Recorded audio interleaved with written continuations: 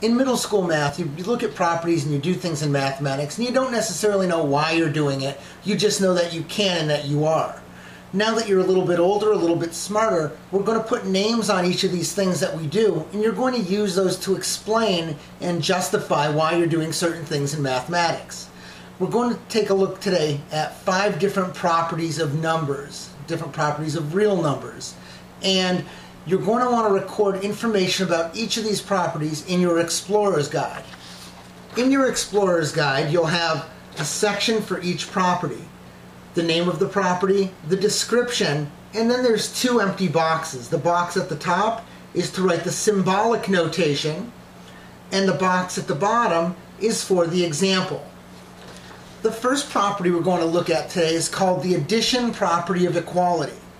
This simply says that you can add the same amount to both sides of an equation and it's still equal. So if you take a look at the example at the bottom, if x equals 2, we can add 3 to each side. x plus 3 equals 2 plus 3. And it's still in balance. It's like adding the same amount to each side of a balance scale. In symbolic notation, using just letters, we say that if a equals b, that's like this, I can add the same amount to each side, we'll call it C. So A plus C equals B plus C. So the addition property of equality is simply adding the same amount to both sides of an equation. The next property that we're going to look at is very familiar also, except this time instead of adding, we're going to subtract.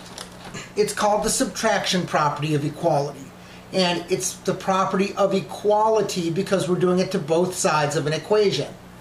So take a look down here. If x equals 2, I can subtract 3 from each side of that equation. x minus 3 is the same as 2 minus 3. It's as if I had a scale and I took 3 pounds off of each side. In symbolic notation, if a equals b, we can subtract c, a third number, from each side. So a minus c is equal to b minus c. Just like down here, we subtracted 3 from each side. Here we just subtracted some random number, whatever it happened to be, that we called c. So the subtraction property of equality, you've used that a lot when you've solved equations. You're subtracting the same amount from both sides of the equation. The third property that we'll look at is the multiplication property of equality. The multiplication property of equality says that if you multiply both sides of an equation by the same amount, then what you have is still equal on each side of the equal sign. If x equals 2 and I multiply both sides by 3, I have 3x equals 6. Well, if x equals 2, 3x does equal 6. And here I just simply multiplied both sides of the equation by 3. If you want to put that in symbolic notation, if a equals b, then I can multiply both sides by whatever number I want to. We'll call that number c. And so if a equals b, then a times c equals b times c. I just multiplied both sides by the same thing. So again, there's another example of a property that you've used for many years now that we're now putting a formal name to. The fourth property I'd like to share with you right now is the division property of equality. And just like the others, it's the property of equality because we're doing it to both sides of the equal sign, and division because we're dividing. So if x equals 2, and I divide each side by 3, well, x divided by 3 is equal to 2 divided by 3. And you've done this when you've solved equations before. So if you divide one side and then you divide the other, the equation is still in balance. It's still equal. In symbolic notation, if a equals b, I can divide both sides by c. a divided by c equals b divided by c. That's called the division property of equality. So we have addition property of equality, subtraction property of equality, multiplication property of equality, and division property of equality. Now on the next page in the notes, there's an equation. The equation is 7x plus 3 equals 31. If you would, please pause the video here, solve that equation, and then we're going to take it one step further. We're actually, once we solve that, we'll go through together and explain why we did each step. Here in our first example, we solved the equation. We began by subtracting 3 from each side and then divided both sides by 7. We know that we can do those, and we've, we've worked with equations like that before, especially a lot in middle school. Now, what we're going to do is actually justify or explain why we were allowed to do something. For example, what allowed me to subtract 3 from both sides? In this case, the subtraction property of equality. So what I'll do is I'll write that right next to that step. Subtraction property of equality.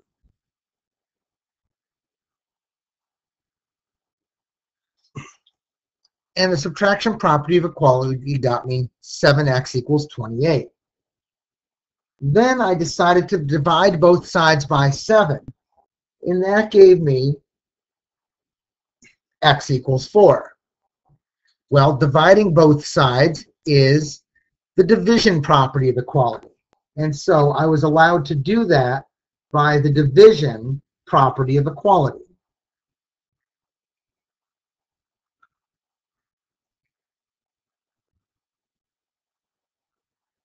Notice what we're really doing is we're going from simply solving an equation, which you've done for many years, to explaining why we were allowed to do something. Those are the two properties there that allowed us to do that. Now, let's take this one step further. On the next example, it says given 3x plus 5 equals 20. And they want you to prove x equals 5. In other words, this is where you start. And this is where you want to end. And what we're going to do is solve the equation. We're going to write down each step as we go, show all of our work, and we're going to write the name of the property that we used. Now, when we do a proof, we always start by writing down the original thing that they gave us. In this case, 3x plus 5 equals 20. And that was given and we simply write given next to it because that's what they gave us to start with. Now we want to get x alone. First thing I'll do is subtract 5 from both sides. And when I do that, I have 3x equals 15. Now I subtracted 5 from both sides. The step that I just did here in blue is the subtraction property of equality. So I'll write out subtraction property of equality.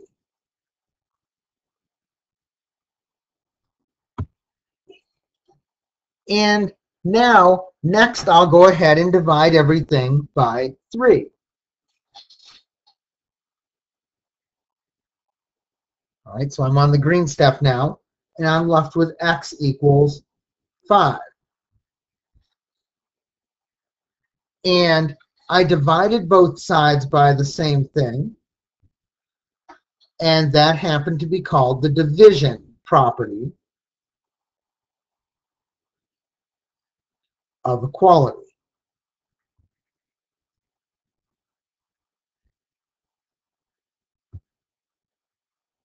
Now, notice that what has happened here is this very end thing here matches exactly what I wanted to prove. All right? These things at the end need to match. When they match, you're done. And we show that we're done by writing the letters at the bottom, Q, E, D. Q, E, D quod erat demonstratum. It's actually Latin, and it means, and so it has been demonstrated, QED. This means the proof is done.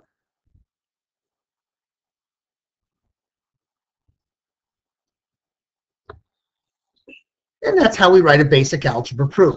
We're simply using the rules that we know from equation solving and naming the actual properties that we do. The next example we have something very similar where they give us something and they want us to prove something. And we always begin by writing down the given statement. In this case, we have 5x minus 1 over 3 equals 8. And that is my given statement. They gave me that to start with. Now, on the left-hand side, everything is divided by 3. So I can multiply both sides by 3 over 1, which gives me 5x minus 1. 8 times 3 is 24. So 5x minus 1 is 24. I got that by multiplying both sides by something. That's the multiplication.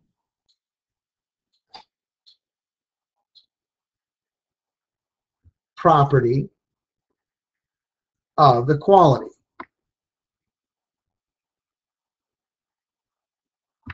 Multiplication property of equality. And now I'll go ahead and continue along solving this because I want to get to x equals 5. I'll add 1 to both sides. Notice I'm writing out every step almost like I'm creating an answer key or an answer manual to something. I added 1 to both sides. That's the addition property of equality. The addition property of equality. And finally, I'm left with 5x equals 25. I'll simply divide both sides by 5. And I'm left with x equals 5. Now, when I multiply, when I divide both sides by 5, that's the division property of equality.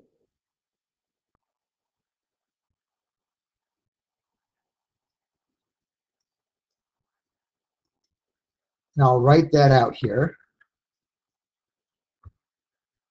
And now what I ended up with exactly matches what I wanted to prove. That means I'm all done. I've demonstrated what I wanted to demonstrate. And so I'll end my proof with the letters QED. Here's one more property for you, and this is actually everyone's favorite property. It's the distributive property. You've seen the distributive property before. If you have A and then on the inside you have B plus C, you simply multiply both things inside by that A. So this is A times B, A times C. So I have A times B plus A times C. If you want to put it in terms of something that's more familiar to you, suppose you have 3 and then inside the parentheses an x minus y. We distribute to get 3x minus 3y. That's the distributive property. Now notice, it is not the distributive property of equality. The distributive property does not require us to do the same thing to both sides. So the distributive property, because it's only on one side of an, an equation or in an expression, we do not use the term of equality of equality is only when you're doing something on both sides of an equation. Let's take a look at a little algebraic proof that uses the distributive property. An example here using the distributive property, we're going to begin by distributing that 3. So we have what we started with, 3x plus 2 equals 12. That was our given. And we always begin by jotting down what we start with. And the first thing I'll do here is I can use the distributive property. 3x plus 6 is equal to 12. And I'll write down what I did there. Distributive property. And now I'll just go through like I've done before. subtract 6 from both sides. So I have 3x equals 6. And that was the subtraction property of equality.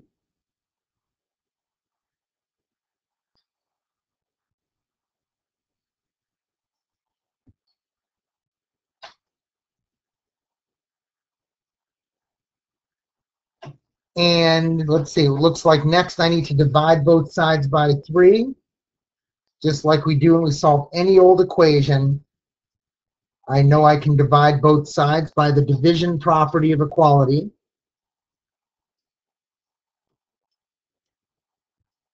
And it looks like I have exactly what I want now. It looks like I want to end with x equals 2. That's what I want to prove. And it looks like here I have x equals 2. So it looks like I've done exactly what I want to do. And when I'm done, I end my proof with simply Q E D. Quod erat demonstratum.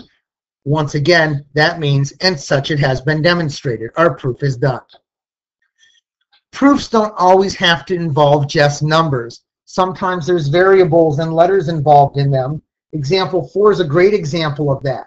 Notice here there's not a single number. There's just a whole bunch of letters. This is hardcore algebra. But we'll do the same thing we always did. We'll just pretend they were numbers. We're given a plus c over b equals w. That's what we were given. And we write that down just like we would if they were all numbers. And I notice by looking at what I want to prove, I want to get A alone. That's what I want to do. A needs to be alone. So I'm going to work to get A alone on one side of the equation. Now, I can multiply both sides here by B because the left-hand side is all divided by B. That gives me A plus C equals B times W. That was the multiplication property of equality. So I'll write that down.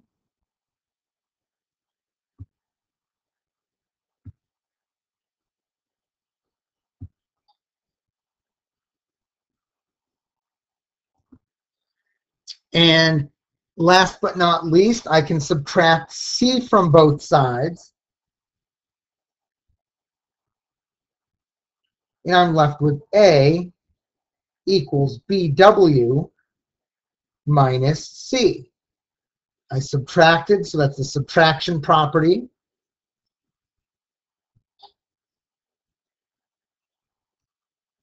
of equality.